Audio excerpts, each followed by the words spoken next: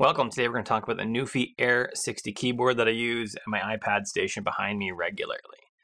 Before we do that, a few ways to support the channel. Number one, become a member, curtismchale.ca slash membership. Number two, take a course, curtismchale.ca slash education. You're probably most interested in the productivity courses, and you'll find those at the education link.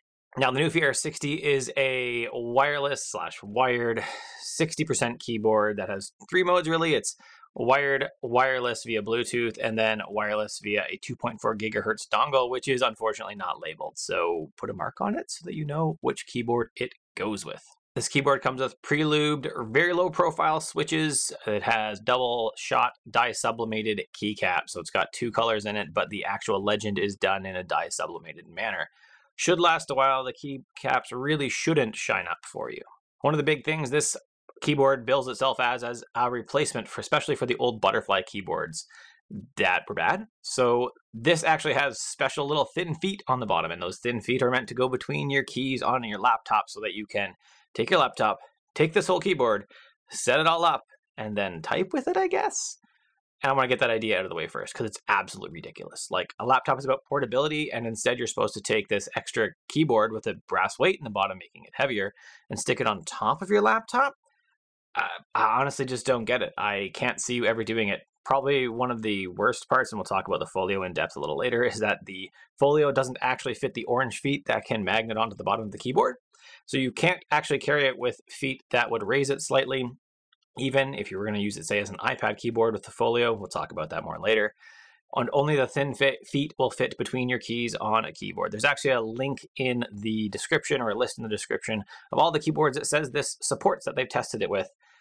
Uh, I would never use it that way. It seems absolutely ludicrous to add a 500 gram keyboard to your loadout to carry with your laptop for a better typing experience. I, I just don't see it at all. If I'm wrong, and if that's you, I guess let me know, but I don't believe you. Now the specs on the keyboard, it's a 60% keyboard, just like the Mojo 68 I reviewed a while ago. In the box, it has keycap puller, switch puller, braided but folded USB-C cable to A.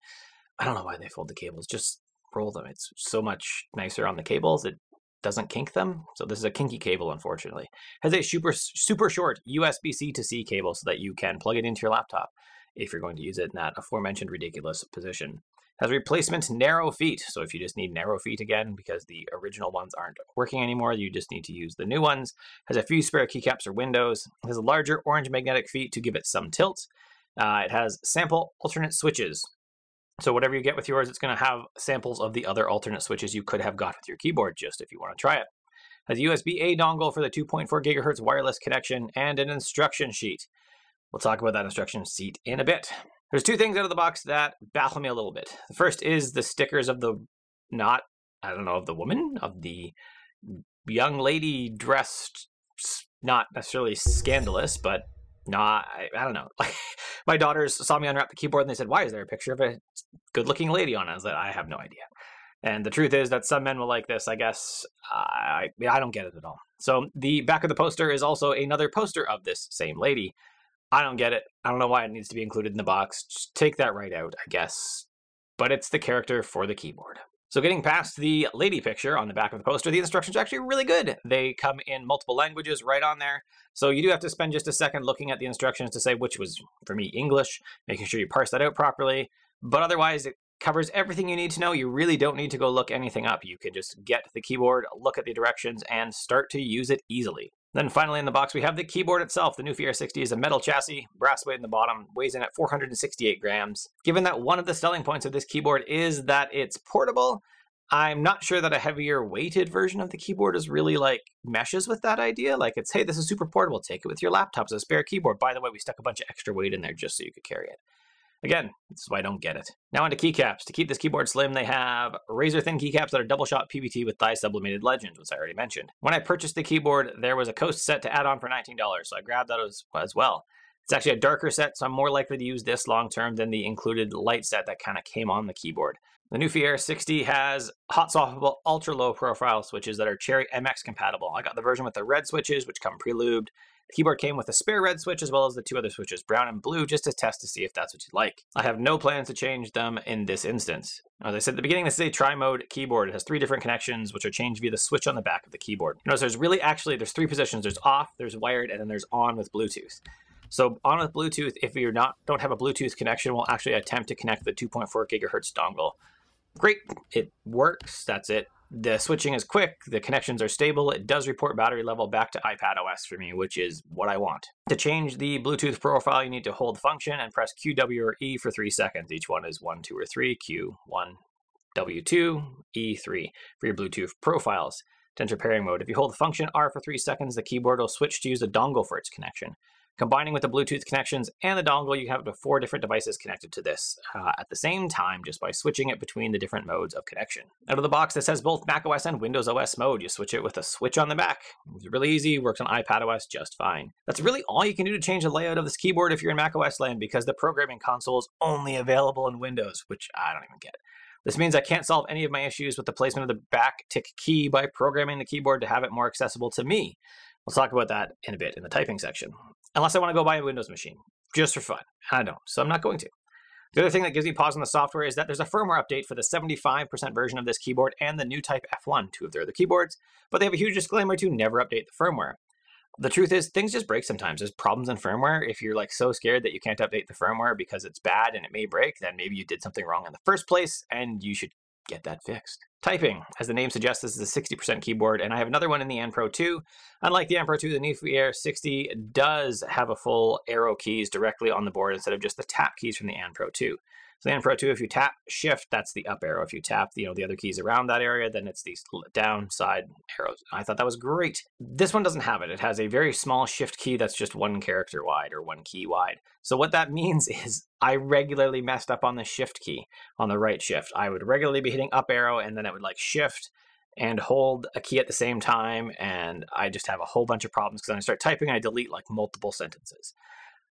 I honestly have never got over that. It's been like three or four weeks. I'm still having that trouble on the keyboard. So I don't love that aspect of it. Now, also like one of my smaller boards, the Mojo 68, is that it has a backtick key under the escape key. So you actually have to hit escape.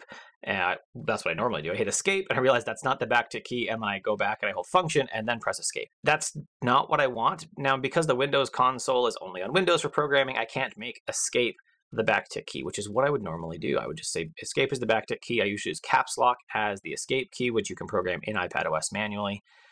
And I can't do that. So I'm just stuck with pressing escape, going, oh, that wasn't what I wanted, holding function, and then getting the backtick key that I want. And I type that key fairly regularly, even in my reviews. If you look at the written review of this, you'll see there's lots of times I've escaped it. Use the backtick key so that you can tell that I'm pressing a key as opposed to just writing. Now, otherwise, the keyboard feels pretty decent to type on. The layout's okay, with the exception of the shift key and the exception of the uh, media keys, which we'll get to, and the exception of the backtick. Now, on the media key front, they are kind of in the standard spot you'd expect them on Mac OS, across the top on the number keys. That's fine, but coming from the Mojo 68, where I they are uh, play and pause is function enter, and then up and down is volume, or function up and down, and then function left right is skip back and forth. I like that better. It's easier to get at. There's less wrist contortions for me to be able to hit those keys. So I actually like that a lot more. Again, if I could program the board, I could change these things, but I can't because I'm in Mac OS land. Now the battery life, it has a 25 milliamp hour battery, which is fine. It's about half, just over half of what the Mojo 68 has in it. And honestly, I don't even care about battery size so much. I usually look at it when I sit down to use it most of the time, is it fine? And the answer is yes, it's fine.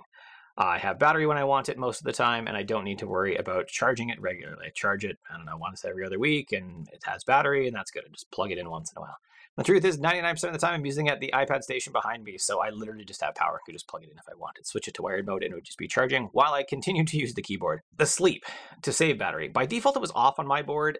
I think.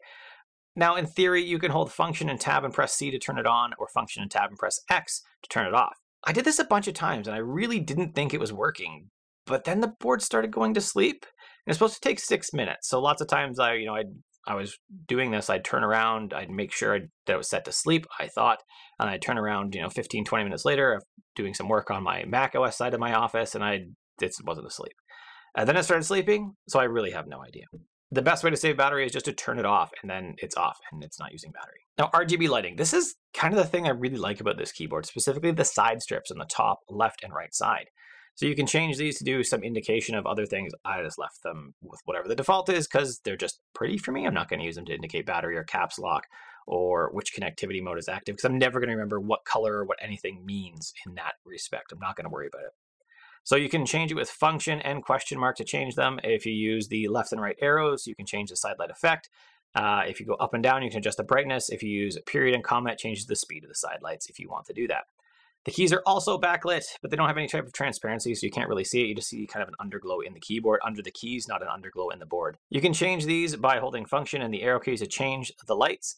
You can't really customize a specific key to be a custom color if you want that. You can't set up your own necessarily, uh, at least if you're on Mac OS for sure, possibly in the Windows console. I didn't see anything that told me I could actually do that though. Usually I just leave it on a mode that makes them flash when I type. That's fine for me. I don't actually need the backlights. I can type without seeing them, so I don't worry about it. Function and the left or right arrow changes the effect. Function and up or down adjust the brightness, and comma and period adjust the speed of the lights. Now we're gonna get to the other, I would say, I don't know, lackluster part of this. Like this is like supposed to be the perfect keyboard for your Mac and your iPad. So it also can come with the Folio V2, which I got. It's supposed to be an a great case, and it kind of reminds me of some of the old origami cases you find where you folded up a bunch of stuff and you could put the iPad on it. This was like the early iPad cases. It's supposed to protect your keyboard while you travel with it first, and it does that as long as you don't have the orange feet on. It doesn't close with the orange feet on it. Come on, like why doesn't it? You give me the feet. It's part of the keyboard. Why doesn't it work? And there's not even a storage spot. I could even say, oh, there's a storage spot. I just slide them in here and they're stored. Nope, just I don't know, stick them in your pocket. Just let them float around there, you'll be fine. Now, the intention for iPad users is once you get somewhere, you kind of tent the thing and then you put the keyboard there and you start typing on it. But there's some problems. First, the slim keyboard is still tall enough that it obstructs the bottom of your iPad. So you can't do swipe up gestures really easy. You're just kind of out of luck on that. Sorry. Second, you're really limited in the angles you can use. There's only a few, like in the top, I don't even know what degree, but just in the top, you can't like lay it down really well. You can't go really vertical or the iPad's going to fall over on you. You're just kind of limited in the angles. Third, you're not going to be able to move it around. Unlike the Magic Keyboard or the Smart Folio keyboard or many other iPad keyboards where you can pick it up and the keyboard's all attached, you just grab the iPad, you got to like use three hands because the keyboard's slightly magnetic in there, but not enough to really stay. And you got to grab the iPad and you got to grab the folio. So you're like, I just need to move my seat just like over one seat for some reason. You're out of luck. You just, it's, that's where it is. Finally, this is not going to work on your lap. It's just like a you're just going to drop it. So don't even think it's going to use it on your lap. In my opinion, that while they say this is like an iPad Folio support thing, this is really just a case for your keyboard, and it's not going to work with all the parts that they send with the keyboard. So you're out of luck. Final verdict: Is this the best, as they say, iPad keyboard ever? No, it's not especially with the folio thing. Like, I don't know what they were thinking with it. It's a keyboard cover case. That's it. It's not anything for your iPad, really. Not in a practical sense, anyways. I'm never going to use it for that. There's things I like about this keyboard. It's low profile. It sounds really decent. We'll have this typing sounds coming up at the end, but it's only okay. Like it's oh it's okay. I don't I'm not gonna complain about it. I'm not gonna say it's a terrible keyboard. I find it too slim actually. I don't like the tenting.